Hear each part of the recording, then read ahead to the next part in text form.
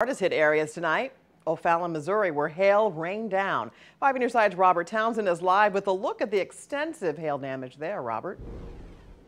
Hey there, Kelly. Let me tell you, about six hours ago, the hailstorm pounded homes and lots of cars here in O'Fallon. Take a look at this. This damaged Honda now sits outside City Hall, and like so many, its front windshield is shattered, and the car, let me tell you, is covered with countless dents. Well, we heard the alarms, the sirens, and so uh, we took cover. Just after 4 Thursday afternoon, Chris Henrik and his wife raced downstairs to the shelter in their cellar as a relentless hailstorm battered their home on Civic Park Court in O'Fallon, Missouri. The noise was so intense when it hit the roof, it sounded like gunfire. Hendrick captures cell phone pictures of the golf ball sized hail that pelted their cars. But every car's got damage on it that was parked outside.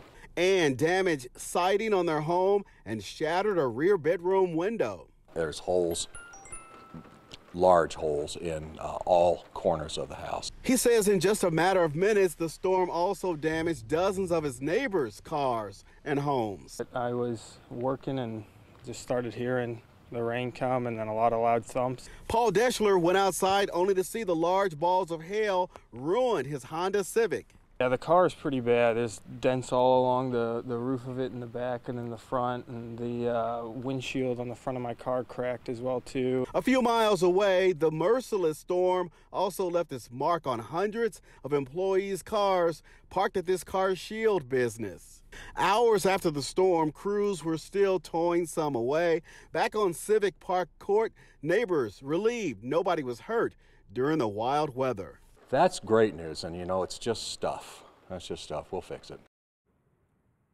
And no doubt homeowners are still at this hour assessing the damage and calling their insurance adjusters. We're live in O'Fallon, Missouri. I'm Robert Townsend. Five on your side.